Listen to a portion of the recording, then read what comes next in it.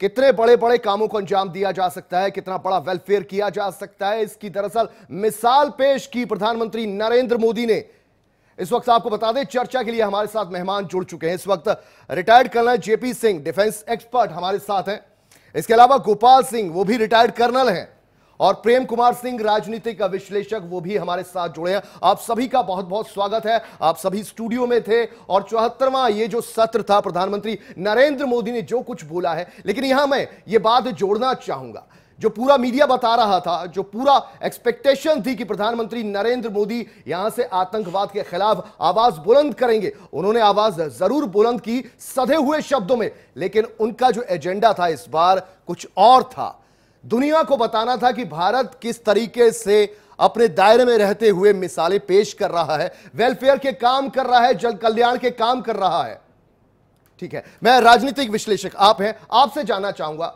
इस पूरे जो मोदी जी ने यहाँ पर कहा है, दुनिया को जो मैसेज देने की कोशिश की है, किस अंदाज में देखते हैं आप इसे? क्योंकि बहुत कुछ अलग कहा जा रहा था और ये जो भाषण उनका आया, बिल्कुल मुख्तलिफ़। पूरा भाषण जो इनका रहा आ, वो मेरे ख्याल से पूरी तरह से सकारात्मक रहा। प्रमुख जो बातें जो अच्छाइयाँ जो मैं देख पा रहा हूँ जो निश्चित रूप से दुनिया को आकर्षित करेगी वो है कि गांधी की सत्य और अहिंसा से बात को शुरू करना और स्वामी विवेकानंद के सौहार्द और शांति की बात से भाईचारगी और शांति की बात से ख़त्म करना। ये दो ये बहुत महत्वपूर्ण बात है। दोनों हमारे देश के महान लोग हैं और महान संदेश जो दुनिया में है और हमारा हमारा भारत उसका प्रतीक है। इससे उन्होंने किया शुरुआत और अंत। इसके बाद इसको दो हिस्सों में अगर बांटे उनके भाषण को तो एक हिस्सा वो है जिसमें कि वो सारी उपलब्धियाँ हैं जो नरेंद्र मोदी जी की सरकार में वो कहते आए हैं और उस उस उन उपलब्धियों को उन्होंने ग्लोबली पेश किया है कि कई देश उनसे सीख सकते हैं। ऐसा उन्होंने कहा है कि कई देश उनसे सीख सकते हैं। हालाँकि इसका आलोचना का पहलू ये होगा कि जो बातें आप बता रहे हैं, कई देश ये बहुत पहले कर चुके हैं, है ना? और हम तो अभी कर रहे हैं। दुनिया के कई देश कर चुके हैं हम्म। ये उसका दूसरा और आलोचनात्मक पहलू होगा। हम्म। उसके बाद आप जो दूसरा पार्ट में आप आए हम्म। मैं संक्षेप में बोल रहा हूँ क्योंकि सारी चीज़ें तो आप दिखा ही रहे हैं कि किस क्षेत्र में उन्होंने क्या क्या कहा जैसे ग्यारह करोड़ शौचालय बनाना स्वास्थ्य बीमा इस सब का मैं ज़िक्र नहीं कर रहा वो दूसरा पार्ट है आतंकवाद पर। इस इसी प्लेटफॉर्म पर पिछले दो घंटे से हम लोग चर्चा कर रहे थे ये मैं बार बार कह रहा था कि किसी भी सूरत में भारत की तरफ़ से कश्मीर का मुद्दा नहीं उठेगा। ये मुझे और निश्चित रूप से इमरान खान जब भाषण देंगे तो कश्मीर का ही मुद्दा उठेगा। हम्म। ये मैं लगातार कह रहा ठीक है तो एक हिस्सा कुमार जी आपको थोड़ा सा रुकना चाहूँगा। गोपाल सिंह रिटायर्ड कर्नल गोपाल सिंह इस वक्त हमारे साथ मौजूद है।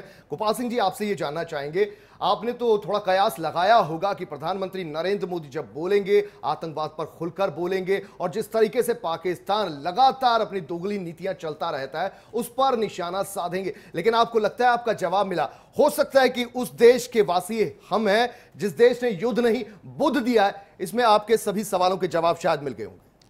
आप बिल्कुल सही कह रहे हैं। सबसे पहले तो मैं हमारे प्रधानमंत्री जी को कहूँगा, वाओ, प्रधानमंत्री जी। अनेकता में एकता भारत की शान है। इसीलिए हिंदुस्तान महान है। ये आपने आज यूनाइटेड नेशन असेंबली में करके दिखाया। जिस प्रकार से भारत किस स्थिति में था और उसको बदलाव में ला करके और उस मुकाम तक ले जाने के लिए जो कार्य किए गए हैं अब तक, उनकी जो प्रशंसा की, उनको बताया पूरे विश्व को। ये बहुत बड़ी बात। क्योंकि अभी मेरे साथी ने कहा कि ये लोग बहुत से देश पहले ही कर चुके हैं, बिल्कुल कर चुके हैं। उस बात से हम सहमत हैं। लेकिन क्या हमारा देश उस स्थिति में था पहले? ये बताना पूरे विश्व को ज़रूरी था, ज़रूरी है, और वही मोदी जी ने किया। हम उनका बहुत आभार प्रकट करते हैं इसके ऊपर। रही बात जो आपने सवाल किया, आतंकवाद। इसके लिए पिछले पाँच साल से मोदी जी सारे राष्ट्राध्यक्षों से जा कर के मिल कर के एक मत करने के लिए इन्होंने, यानी आतंकवाद को दूर करने के लिए एक मत करने की कोशिश की और उसके ऊपर बिल्कुल छोटे शब्दों में पूरे विश्व को बता दिया कि आतंकवाद सिर्फ़ अकेले नहीं, एकजुट होकर के दूर किया जा सकता है, इसलिए वो करने की आवश्यकता है। ठीक है। रिटायर्ड कर्नल जेपी सिंह भी हमारे साथ है। जेपी सिंह जी आपसे भी जानना चाहेंगे बहुत उम्दा सा ये भाषण लगा बहुत छोटा सा ये भाषण था। हालाँकि 15 15 मिनट ही असाइन किए जाते हैं लेकिन 15 से 20 मिनट ही प्रधानमंत्री नरेंद्र मोदी ने लिए होंगे। सीधे तौर पर आतंक पर उन्होंने निशाना तो नहीं साधा लेकिन आतंक को जिस तरीके से उन्होंने अपने लफ्जों में पिरोकर दुनिया को जो मैसेज दिया उससे क्या आपको लगता है कि आप प्रभावित हैं प्रधानमंत्री के भाषण से? बिल्कुल बहुत प्रभावित हूँ। मैं अपने विचार व्यक्त करने से पहले मैं यहाँ से बताना चाहूँगा कि मैं आज बहुत ही गौरवान्वित महसूस कर रहा हूँ कि हमारे देश के प्रधानमंत्री ने UN United Nation General Assembly के पटल से जिस तरह से पूरे विश्व को मैसेज दिया है वो अपने आप में सराहनीय है। जैसा कि उन्होंने अपने भाषण में बताया कि भारत एक शांति प्रिय देश है। भारत युद्ध नहीं चाहता, गौतम बुद्ध जैसे महान विभूतियाँ हमारे यहाँ जन्म लिया है, पैदा हुई हैं। उनका संदेश था पूरे विश्व में शांति। करणवंतो विश्वमार्यम, पूरे संसार को आर्य बनाओ, पूरे संसार को अच्छा सुदृढ़ बनाओ। हाँ, और ये बात बिल्कुल वसुदेव कुटुंबम। जो विश्व पटल से सामने आनी भी चाहिए चाहिए थी भारत ने आज तक कभी किसी हमले की शुरुआत कभी नहीं की। कभी नहीं। किसी देश पर कोई हमला नहीं किया। हाँ एक छोटे छोटे देश ने बगल के देश ने आप लगा लीजिए उसने कई बार हमले किए हैं। और हकीकत ये अंतर्राष्ट्रीय जगत समझता है। नहीं बिल्कुल बिल्कुल ये बिल्कुल जो मैसेज आज गया है जिस तरह से उन्होंने मैसेज दिया है पूरे विश्व को आपने सवाल किया कि उन्होंने आतंकवाद का कोई अपने भाषण में ज़िक्र नहीं किया। भाषण में ज़िक्र करने की क्या ज़रूरत है?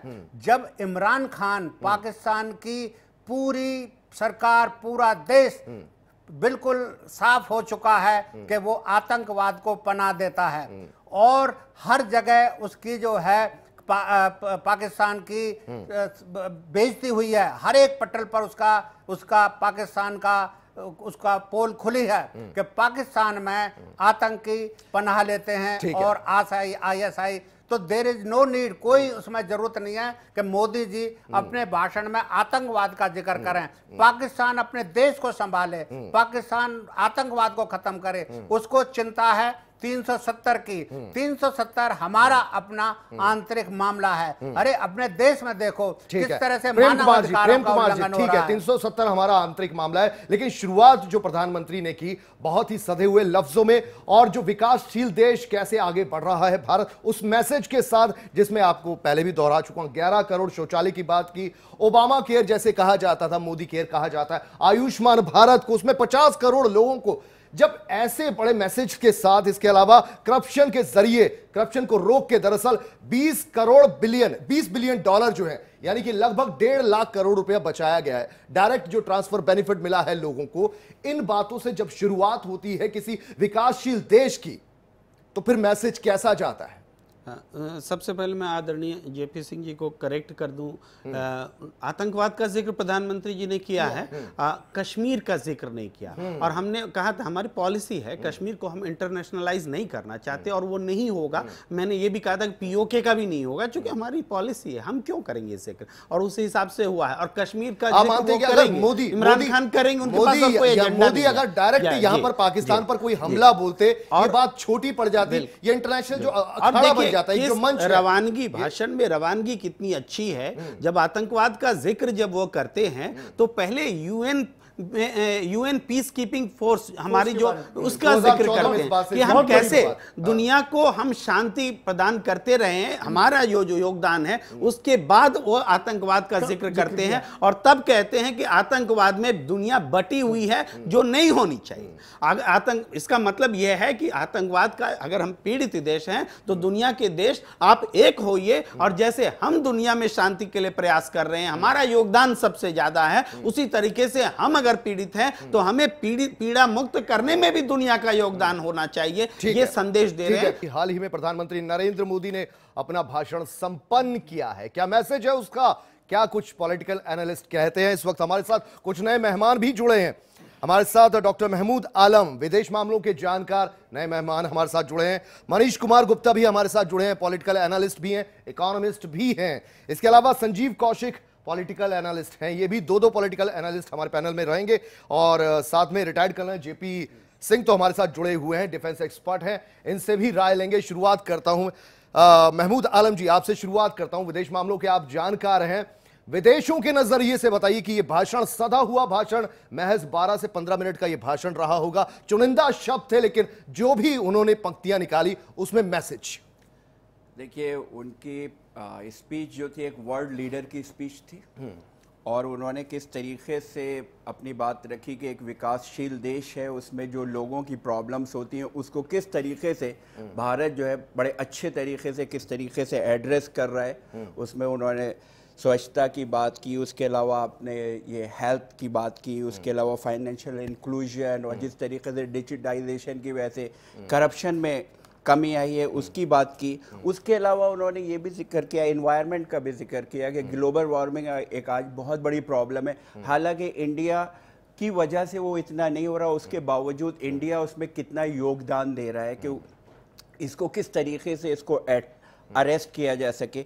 उसके अलावा उन्होंने पीस कीपिंग की बात की कि पीस कीपिंग के लिए वर्ल्ड में जो यूएनओ में सबसे ज़्यादा अगर कोई मुल्क जो है वो योगदान देता है वो भारत देता है और भारत के फौजी जो है अपनी जान भी निछावर करते हैं इस पीस को बरकरार रखने के लिए वर्ल्ड में। और वो आज से नहीं सालों से। जी पीस और प्रॉस्पेरिटी की बात की उन्होंने ये भी ध्यान दिलाया कि ये यूएनओ की स्थापना इसी वजह से की गई थी। डॉक्टर महमूद आलम आपसे ये समझना चाहूँगा आपसे कुछ मिनटों बाद इमरान खान भी मंच पर होंगे। अब वो पशुपेश में होंगे। क्योंकि प्रधानमंत्री नरेंद्र मोदी जिस अंदाज में उनके जो सलाहकार होंगे उन्होंने जो स्क्रिप्ट तैयार की होगी जी जी जी शायद वो तो पूरी तरह से मटिया मेट सी हो गई होगी जी जी शायद पाकिस्तान ये एक्सपेक्ट कर रहा हो कि वन इज़ टू वन की वो बात करेंगे लेकिन हम्म। एक ही मैसेज उन्होंने दे दिया कि तुम हमारे आगे कहीं नहीं टिकते हो तुम इस काबिल ही नहीं हो कि तुम्हारी तरफ़ ध्यान दिया जाए हम्म। तो वो उनका तो सारा यू आर एब्सोल्युटली राइट जो भी उन्होंने मेहनत की होगी उस पर सब पे पानी फिर गया। उसके साथ साथ देखिए उन्होंने एक बहुत अच्छी बात की कि अगर वर्ल्ड में आप पीस एंड प्रॉस्पेरिटी चाहते हैं तो टेररिज्म का खात्मा करना होगा और टेररिज्म का खात्मा करने के लिए डबल स्टैंडर्ड नहीं चलेगा वर्ल्ड का। गुड टेररिज्म और बैड टेररिज्म की बात नहीं होगी। टेररिज्म टेररिज्म होता है और उसको ख़त्म करने के लिए वर्ल्ड को एकजुट होना पड़ेगा वर्ल्ड को एक प्लेटफॉर्म पे आना पड़ेगा वरना आप टेररिज्म को ख़त्म नहीं कर पाएँगे। ओवरऑल एक बहुत ही मैच्योर एक वर्ल्ड लीडर की स्पीच थी। ठीक है। पॉलिटिकल एनालिस्ट आपसे है ये भी मैं समझना चाहूँगा आपसे कि पिछले चार से पाँच दिनों से दरअसल प्रधानमंत्री नरेंद्र मोदी अमेरिका की सरजमी पर है। कई ग्लोबल मीटिंग्स उन्होंने अटेंड की हैं। बहुत से उन्होंने कॉन्टेक्ट जो है वो एग्रीमेंट जो है वो साइन करने थे। वहाँ पर भी वो बैठे। कई देशों के राष्ट्राध्यक्षों से भी उन्होंने मुलाकात की है। कुल मिलाकर पिछले पाँच से छह दिनों में और जो आगाज़ था और अंजाम तक इस यात्रा को कैसे देखते हैं? देखिए वेल प्लान्ड हार्ड वर्किंग ये जर्नी रही जिसमें जो जो वो चाहते रहे वो वैसा करते रहे। ज़रूरी नहीं कि हर जगह उन्हें इच्छिक सफलता मिली हो कि जहाँ वो उम्मीद कर रहे थे कि इतना बड़ा इन्वेस्टमेंट का कमिटमेंट होगा। संभवतः कहीं कहीं उतना बड़ा कमिटमेंट ना हुआ हो। लेकिन जितनी प्लानिंग आप एक अंतरराष्ट्रीय पटल पर जाके कर पाए और एग्जीक्यूट कर पाए, निस्संदेह निस्संदेह बधाई के पात्र हैं हमारी नरेंद्र मोदी जी और उनकी पूरी टीम अब इसमें देखते हैं कि उन्हें खास बात क्या रही? देखिए, उन्होंने आज बुद्ध की चर्चा की, गांधी की चर्चा की और स्वामी विवेकानंद की चर्चा की। कहीं ना कहीं वो ये कहना चाह रहे हैं कि हमारे देश को जानने के लिए आप इन लोगों को जानिए तो हमारा देश अपने आप, आपको समझ आ जाएगा। और आक्रोश की बात करते ही वो कह देते हैं कि अब हमें गुस्सा होने का भी अधिकार है। अब हम कोई कमज़ोर व्यक्तित्व तो नहीं है, अब हम कोई कमज़ोर देश नहीं है। अब हमें गुस्सा करने का अधिकार है। लेकिन अपने गुस्से को नम्रता की चाशनी उड़ाकर उन्होंने कहा, आतंक के खिलाफ आक्रोश है। तो वो एक नया जो है नरेटिव तैयार कर रहे हैं। दूसरी तरफ़ सिंगल यूज़ प्लास्टिक की बात जब वो करते हैं तो वो ये देश को एक मैसेज देते हैं कि इस बार भी भारत से कोई ऐसा व्यक्ति आया है जो एक विश्व को नई मुहिम दे रहा है। और वो बता रहा है कि जितना सिंगल यूज़ प्लास्टिक हम यूज़ कर रहे हैं उससे ज़्यादा आप कर रहे हैं। बिना पॉइंट आउट किए बिना इशारा किए वो पूरे विश्व को इशारा दे रहे हैं कि हम तो तैयार हो गए आपके बिना जगाए अब आप भी जागिए। जैसे डॉक्टर आलम ने कहा कि दरअसल भारत उतना ग्लोबल वार्मिंग में हिस्सेदार नहीं है लेकिन बढ़ चढ़कर आगे प्लेटफॉर्म पर आकर वो अपनी बातों को रख रहा है। बिना इशारा सरजमी पर थे अमेरिका में चाइना में जो सबसे ज़्यादा ग्लोबल वार्मिंग के जिम्मेदार हैं वो चर्चा तक करने को राज़ी नहीं इस मुद्दे पर। बिल्कुल। और मज़े की बात यह है कि इस मुद्दे पर उन्होंने जिस तरीके से पाकिस्तान का नाम नहीं लिया तो आप समझिए कि इंग्लिश की कहावत है इग्नोरेंस इज़ बेस्ट पनिशमेंट अब पाकिस्तान के पास कहने को क्या बचेगा? क्योंकि भारत ने तो उसका नाम ही नहीं लिया। कौशिक साहब कौशिक साहब इग्नोरेंस इज़ बेस्ट पनिशमेंट यह आपने कहा। मुझे ये बताइए कि इतनी इग्नोरेंस हो चुकी है पाकिस्तान की, प्रधानमंत्री इमरान खान की इतनी इग्नोरेंस हो चुकी है। उसके बाद क्या बचा है अब इमरान खान के पास? क्या आखिरी लम्हों में कोई स्क्रिप्ट चेंज होगी? दो चार जो सेंटेंस है वो चेंज किए जाएँगे? जल्दी जल्दी। देखिए अब आज वो क्या बोलेंगे मुझे नहीं पता लेकिन पिछले सात दिनों का जो यात्रा का लब्बो लुआब रहा है उसमें तो हमें यही दिखाई दिया है कि अमेरिका ने पहले ही के जैसे अपनी दोहरी रणनीति के तहत एक तरफ़ हिंदुस्तान के भी कांधे पे हाथ था और एक तरफ़ पाकिस्तान के भी कांधे पे हाथ था। एक तरफ़ फादर ऑफ़ द नेशन के की उपाधि से नवाज़ दिया जाता है प्रधानमंत्री मोदी को और दूसरे तरफ़ तुरंत वहीं पर इमरान खान को ग्रेट लीडर के तौर पर बता दिया जाता है। तो ज़ाहिर सी बात है कि ये दोहरी रणनीति अमेरिका की रही है। रही बात अभी प्रधानमंत्री के भाषण की बात यदि कर लें तो, तो हमारे प्रधानमंत्री प्रधानमंत्री इतने सक्षम है कि तमाम बिंदुओं को अपने आप में समेटे हुए और कम समय में बेहतर तरीके से रख पाने में सक्षम है वो।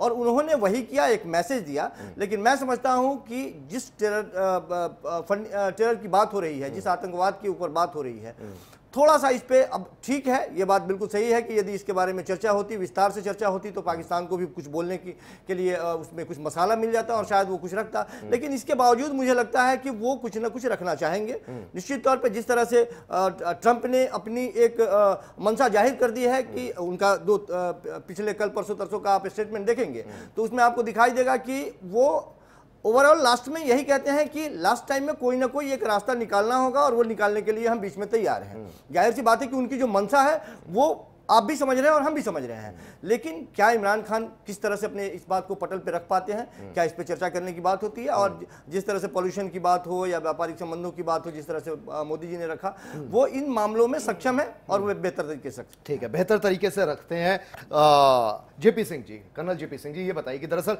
सिक्के के दो पहलू होते हैं हमने 21 तारीख से लेकर आज तक जो मोदी साहब ने जो कुछ वहाँ किया है सब टीवी पर लगातार चल रहा है और अच्छा लग रहा है पॉजिटिव संकेत आ रहे हैं लेकिन इस बीच सिक्के के दो पहलू में जब एनालिस्ट बात करते हैं क्रिटिक्स बात करते हैं वो ये कहते हैं कि दरअसल प्रधानमंत्री नरेंद्र मोदी वहाँ पहुँचे उन्होंने बहुत सी मेहनत की उन्होंने अपना टैलेंट दिखाया जो वो मैक्सिमम कर सकते थे उन्होंने किया। लेकिन इन सब में शातिर जो निकले वो अमेरिका के राष्ट्रपति ट्रंप निकले। आप मानेंगे इस बात को? बिल्कुल मानता हूँ। उन्होंने किसी को कुछ दिया नहीं किसी से कुछ लिया नहीं। न्यूट्रल करके छोड़ दिया। बिल्कुल मैं आपकी बात से बिल्कुल सहमत हूँ हम्म। कि वो दोगली राजनीति करते हैं। हम्म। ट्रंप जी एक तरफ़ जो है मीडिएशन की बात करते हैं हम्म। और एक तरफ़ जो है वो शांति वार्ता की बात करते हैं। अब जो भारत है मोदी जी ने पिछले 21 तारीख से बिल्कुल साफ़ कर दिया है कि ये हमारा आंतरिक मामला है कश्मीर। और आतंकवाद से हम पूरी तरीके से लड़ते रहेंगे। हम पूरी तरह से सक्षम हैं। लेकिन जिस तरह से अमेरिका ने ट्रंप ने अपना रुख जताया है कि हम मीडिएशन के लिए तैयार हैं मीडिएशन कर सकते हैं दोनों देशों के बीच में हम्म। मोदी जी ने बिल्कुल पूरे विश्व को साफ़ संदेश दे दिया है हम्म। कि नहीं we don't want any mediation हम दोनों देश जो है अच्छा इस बीच इस बीच ये भी समझना चाहूँगा आपसे कि ये भी क्या भारत की ताकत है कि एक इतने बड़े मुल्क का इतने शक्तिशाली मुल्क का राष्ट्रपति जो है लगातार ये बात कर रहा है कि मैं मीडिएशन के लिए तैयार हूँ मैं मध्यस्थता के लिए तैयार हूँ और उधर भारत से कोई रिस्पांस नहीं आया था। पाकिस्तान तो खैर भीख मांग रहा है कि मध्यस्थता आप करिए करिए करिए लेकिन भारत की तरफ़ से रिस्पॉन्स नहीं आता है। अमेरिका की ही धरती पर मौजूद है प्रधानमंत्री नरेंद्र मोदी। इसे किस नज़रिए से देखा जाए? मुझे ये बताइए। हाँ इसको इस नज़रिए से देखना है कि भारत जो देश है हम्म। वो पूरी तरह से सक्षम है। हम्म। चाहे वो मिलिट्री पावर हो हम्म। आर्थिक पावर जिस तरह से हमारा देश विकासशील देश है विकास की लाइन पर चल रहा है हम्म। तो विकास के तौर पर भी हम सक्षम हैं। हम्म। और जिस तरह से पिछले पाँच साल से मोदी जी ने पूरे विश्व को संदेश दिया है ट्रंप को संदेश दिया अमेरिका को संदेश दिया है और अपने जो पड़ोसी देश हैं जो अपने पड़ोसी दुश्मन हैं चाइना और पाकिस्तान इनको साफ़ संदेश दिया है कि भारत हर तरह से सक्षम है। सक्षम है। पाकिस्तान समय समय पर परमाणु युद्ध की धमकी देता है। ये गीदड़ भपकी जो है वो नहीं चलेगी। नहीं चलेगी। जिस तरह से पहले पहले हम इस गीदड़ भपकी से डर जाते थे आफ्टर मोदी जब उनकी सरकार बनी है 2014 में पूरी सरकार जो है जिस तरह से देश को आगे बढ़ाया है पोस्ट 2014 आपका यह कहना है कि अब जो है तासीर भारत की पूरी तरह से बदल चुकी है। इसे विश्व भी मान रहा है। प्रधानमंत्री नरेंद्र मोदी ने अपने सधे हुए शब्दों में क्या क्या कहा है? यूएन पीस कीपिंग मिशन में सबसे बड़ा बलिदान अगर किसी देश ने दिया है तो वो देश भारत है। हम उस देश के वासी हैं जिसने दुनिया को युद्ध नहीं, बुद्ध दिए हैं। शांति का संदेश दिया है।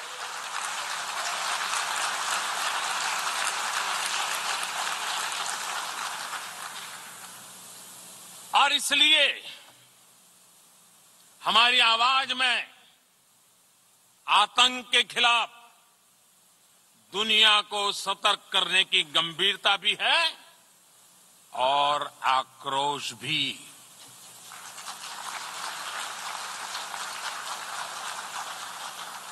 हम मानते हैं कि ये किसी एक देश की नहीं, बल्कि पूरी दुनिया की और मानवता की सबसे बड़ी चुनौतियों में से एक है।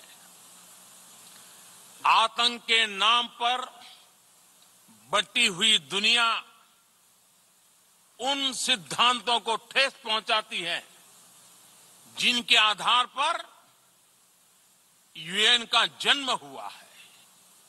और इसलिए मानवता की खातिर, आतंक के खिलाफ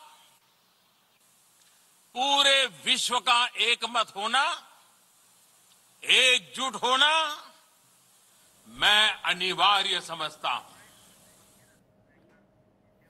तो किसी मुल्क की सीरत को इतनी आसानी से इतने अच्छे शब्दों में बयां कर जाना यकीन ये प्रधानमंत्री नरेंद्र मोदी ही कर सकते हैं। चर्चा में वापस लौटते हैं, एक बार फिर रुक करते हैं डॉक्टर आलम का। डॉक्टर आलम, आपसे अब ये जानना चाहूँगा, इकोनॉमिक अफेयर्स पर भी आपने कहा कि आपसे बात करूँगा, लेकिन उससे पहले मैं ये जानना चाहूँगा कि अब पाकिस्तान के पास क्या ऑप्शन है? दरअसल ट्रंप ने कुछ दिया, ना दिया हो यह अलग चर्चा का विषय है, लेकिन जिस तरीके से हताश होकर पाकिस्तान के प्रधानमंत्री इमरान खान ने यह कहा कि 370 पर कश्मीर पर कोई राष्ट्र उन्हें सुनना नहीं चाहता, वो सुना सुना के थक गए हैं।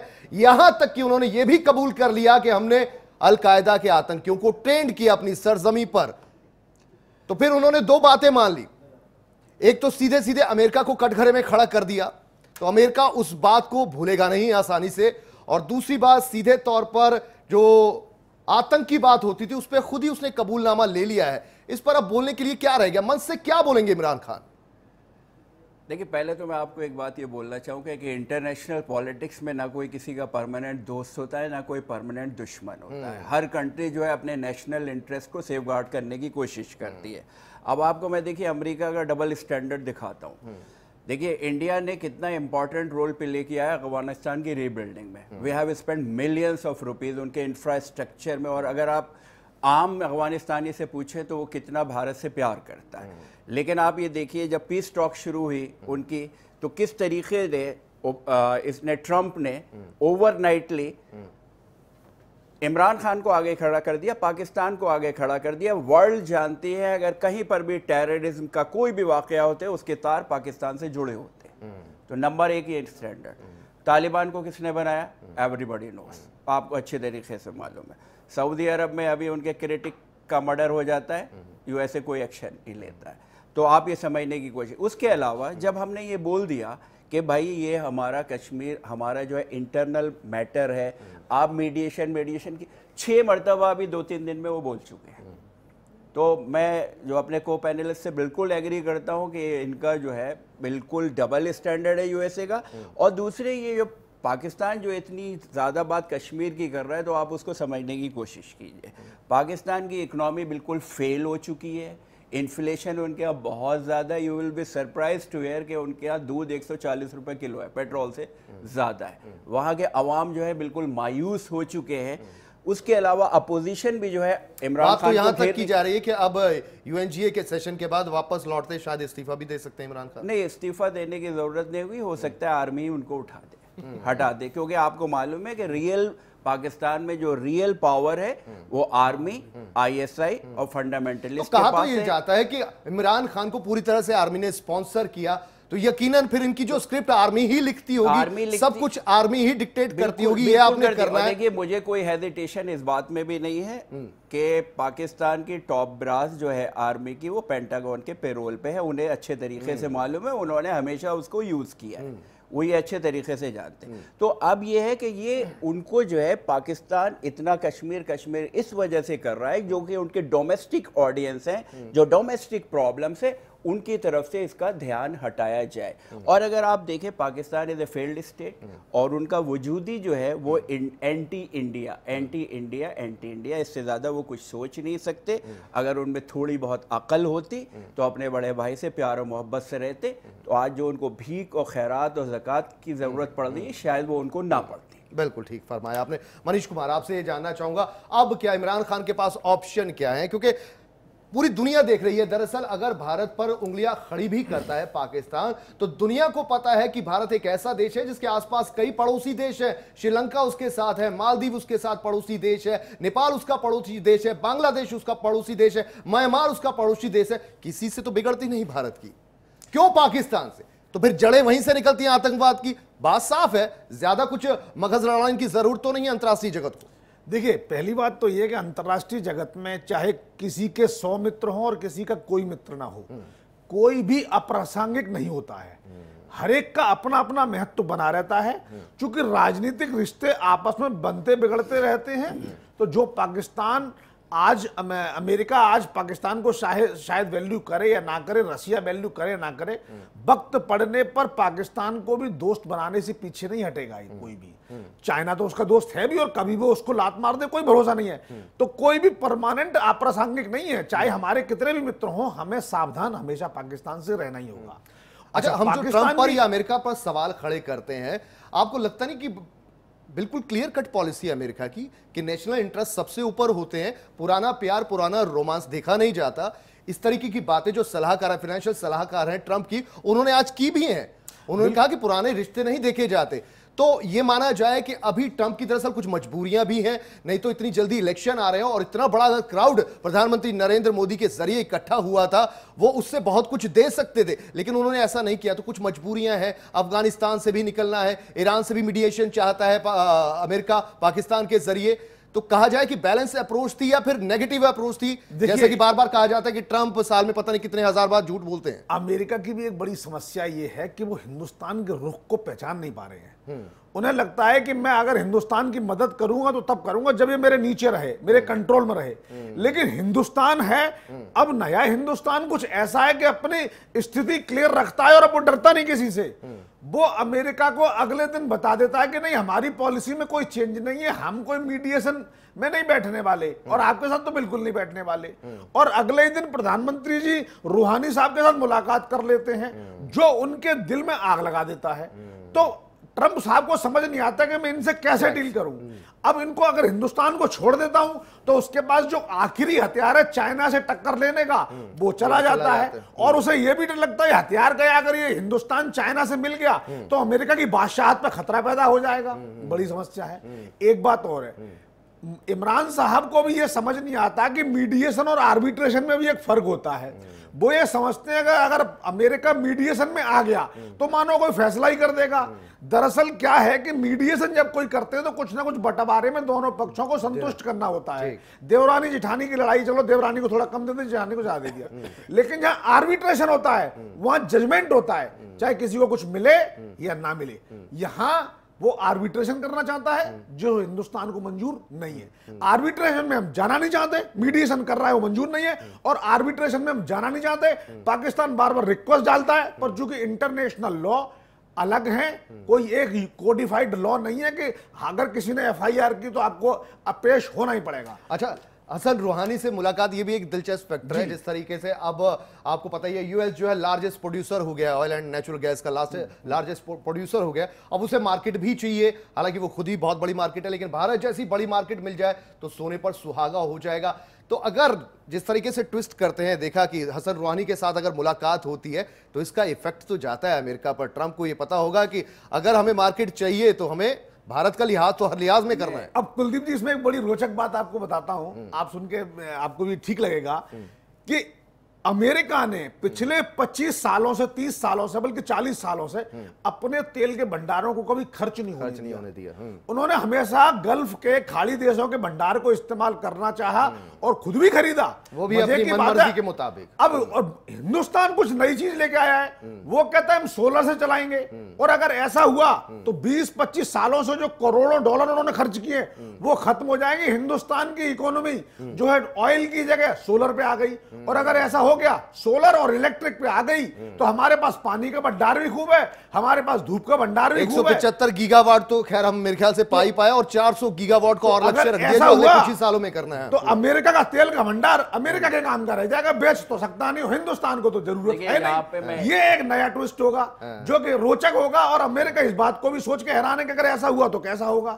देखिए यहाँ पे मैं एक बात ये और बोलना चाहूँगा कि आज हमारी स्ट्रेटेजिक इम्पोर्टेंस इतनी है वर्ल्ड अफेयर्स में कि अमेरिका मजबूर है। अगर आज हमको अमेरिका की ज़रूरत है तो अम- अमेरिका को हमसे हमसे ज़्यादा अमेरिका को ज़रूरत है अगर चाइना को कंटेन करना है। तो देखिए ये राइट टाइम है हार्ड बार्गेन करने का। देखिए हमारा मुकाबला पाकिस्तान से नहीं है। हमारा मुकाबला है चाइना से। और चाइना जो है अपनी प्रॉक्सी वॉर थ्रू पाकिस्तान खेलता है। पाकिस्तान देखिए मॉडर्न वॉर जो है इकोनॉमी की बेस पे लड़ी जाती है। पाकिस- पाकिस्तान इंडिया के अगेंस्ट कहीं पर नहीं खड़ा होता। वो सिर्फ़ चाइना की बेस पे खड़ा होता है। तो this is the right time कि हम हार्ड बार्गेन करें और और चाइना से तब जबकि चाइना जो है 400 बिलियन डॉलर ईरान पर इंफ्रास्ट्रक्चर में खर्च करने जा रहा है। वो वहाँ पर भी खर्च करने जा रहा है। पाकिस्तान में आप देख रहे हैं जिस तरीके से पाकिस्तान को तो उसने अपना एक कॉलोनी बना लिया है। एक तरीके से आप ये समझ लें। तो इस वजह से अगर और देखिए अमेरिका कभी नहीं चाहेगा कि आ, देखिए यूएसएसआर के विक्टन के बाद यूनिपोलर वर्ड हो गई थी। अब बाईपोलर वर्ड है तो अगर कोई उसे टक्कर दे सकता है तो चाइना दे सकता है। तो चाइना को कंटेन करने के लिए उसे इंडिया की ज़रूरत है ही। तो ये this is the right time कि हम हार्ड बार्गेन करें और जिन चीज़ों से हम चाइना को टैकल कर सकते हैं उसकी डिमांड यूएसए से करें। कौशिक साहब तभी कौशिक साहब जहाँ ह्यूस्टन से संबोधित कर रहे थे लोगों को तो राष्ट्रपति ट्रंप के सामने उन्होंने कह दिया कि वो मुझे कहते हैं कि मैं बहुत हाँ। देखिए महमूद साहब जैसा बता रहे हैं कि हमें ये वक्त आ गया है कि हम बार्गेन करें। हकीकत यह है कि भारतीय कूटनीति और जो विदेश नीति है मैं समझता हूँ कि उसमें कहीं ना कहीं हम मात खाते हुए दिखाई दे रहे हैं। मेरा ऐसा मानना है। अब ऐसा मैं क्यों कह रहा हूँ? चूँकि ये सात दिनों की जो यात्रा रही है उस पूरे यात्रा पर यदि आप प्रकाश डालेंगे तो देखेंगे कि किस तरह से हम समझ रहे हैं कि अमेरिका का इस्तेमाल हम कर रहे हैं हम अपने प्रभुत्व का इस्तेमाल वहाँ कर रहे हैं और अमेरिका उल्टा वो इस्तेमाल हमारा कर रहा है विभिन्न मंचों पर ट्रंप की बात यदि हम कर लें नहीं गिव एंड टेक की पॉलिसी आ जाती है लेकिन अगर नहीं, पाकिस्तान को फोकस करके चला जाए जिस तरह तो पाकिस्तान ने आखिरकार तीसरे चौथे दिन आकर खुद ही अपनी हार मान ली। उसने खुद ही कह दिया अमेरिका के खिलाफ भी बयान दे दिया कि आप उनकी वजह से हमने हार- अलकायदा खड़ा किया। टेररिज्म स्टार या उसने आप खुद पाकिस्तान की- कर लिया। आप पाकिस्तान की हार समझ रहे हैं और मैं तो ये देख रहा हूँ कि आज जो जिस तरह से फंड जो रुका हुआ था किसी एक टेररिस्ट के लिए उनके लिए एक नियमित दरमाहा प्रतिमाह निकालने की जो आदेश दे दिया हाँ, ये एक बड़ा- गंभीर सवाल है, ये भी- यदि आप इतने ही मज़बूत थे यदि यदि परिवार के लिए। आप एक किसी चीज़ के लिए। हम जिस कंट्री में जिस एक कंट्री में शुरुआत दूध डेढ़ सौ रुपए किलो हो वो एक लाख रुपए से क्या होने वाला अरे साहब ये शुरुआत तो। खर्चे के लिए है इस चीज़ को वो किस तरह से भुनाने की कोशिश करेगा पाकिस्तान? नहीं नहीं कोशिश करते हैं। कोशिश करते हैं? कोशिश करते हैं कोशिश करते हैं मनीष कुमार कोशिश करते हैं सिक्के के दोनों पहलुओं को समझा जाए और जहाँ तक की ये जो अकाउंट फ्रीज था उसको खुलवाने की अगर बात थी तो उस पर किसी देश का हस्तक्षेप भी नहीं आया। किसी ने उस पर बात भी नहीं की। देखिए वही मैंने बोला आपसे कोई किसी का परमानेंट दोस्त है ना दुश्मन है आपको अपनी लड़ाई खुद ब खुद लड़नी है। लेकिन उसके साथ साथ देखिए हमको बिल्कुल पाकिस्तान भरी हरकतों से बाज नहीं आएगा। वो एक फेल्ड स्टेट है। उसका तो काम ही यही है। और उसकी पूरे का पूरा वजूद जो है एंटी इंडिया पर डिपेंड है। तो आपको देखिए हरकतें शुरू कर चुके हैं। वो एलओसी पे किस तरीके से कोशिश कर रहे हैं पंजाब में किस तरीके से कोशिश कर रहे हैं तो उनकी तरफ़ से ये हरकतें होती रहेंगी। उसके अलावा देखिए हमको बहुत ज़्यादा जो है सतर्क रहने की भी ज़रूरत है। देखिए चा टर्की ने उनका साथ दिया है तो हमको ये सोचना पड़ेगा कहाँ पे हमसे भूल हुई। टर्की उनके साथ क्यों आया?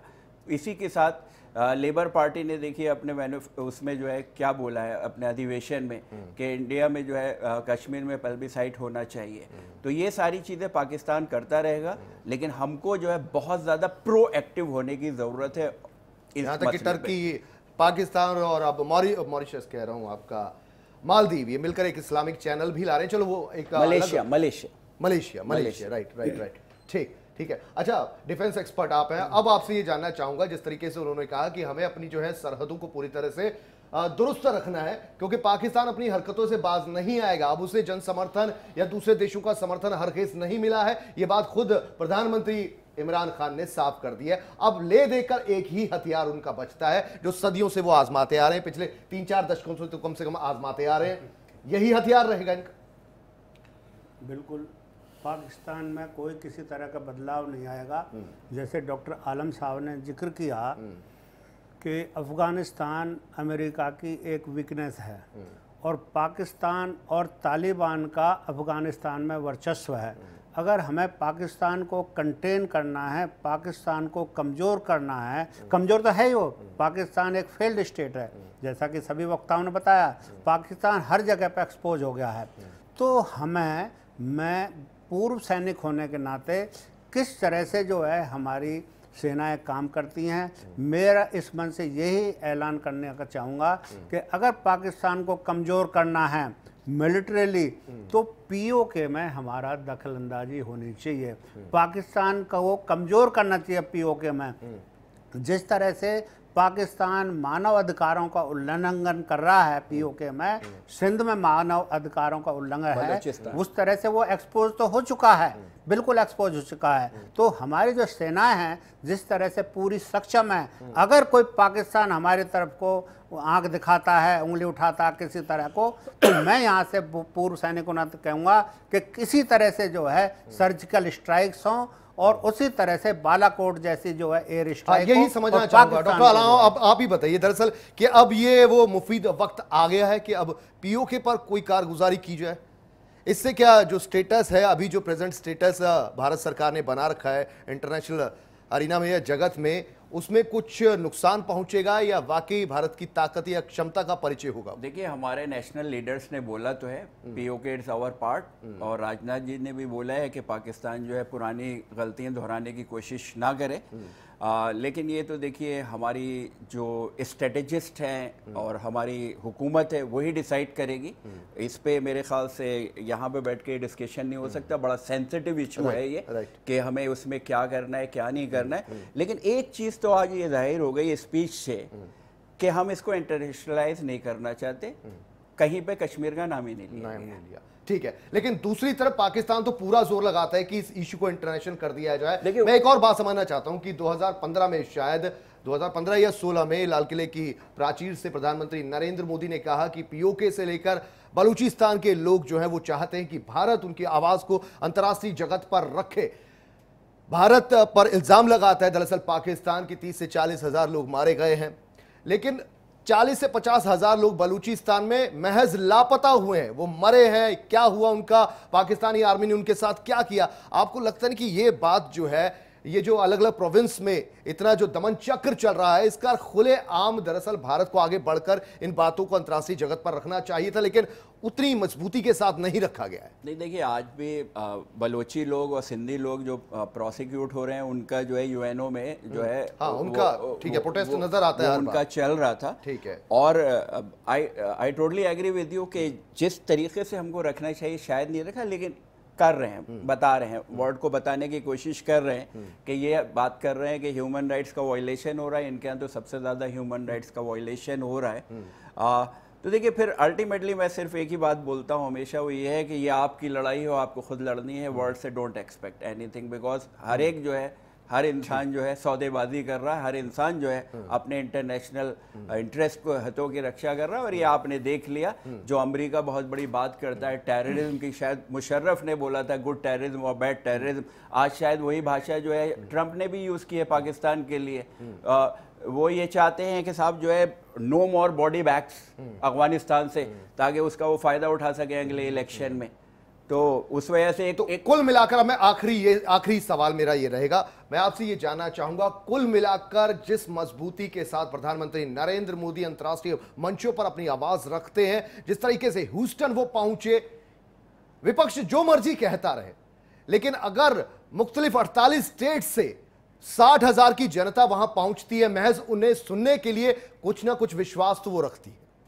नहीं नो नो नो डाउट रखती है और वो एक बड़े अच्छे वक्ता हैं और लोगों से कनेक्ट होना जानते हैं। उसके अलावा जो है एक वर्ल्ड लीडर के तौर पे भी वो उभर रहे हैं और लोगों को एक्स, और आज जो मंच से बोला गया है यकीनन बहुत बड़ा मैसेज गया है पूरे विश्व में।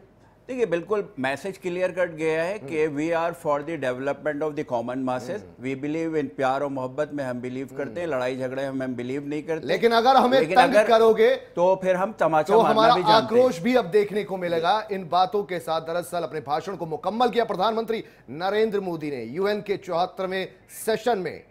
चलिए तो इस चर्चा में फ़िलहाल के लिए इतना ही। सभी मेहमानों का बहुत बहुत शुक्रिया।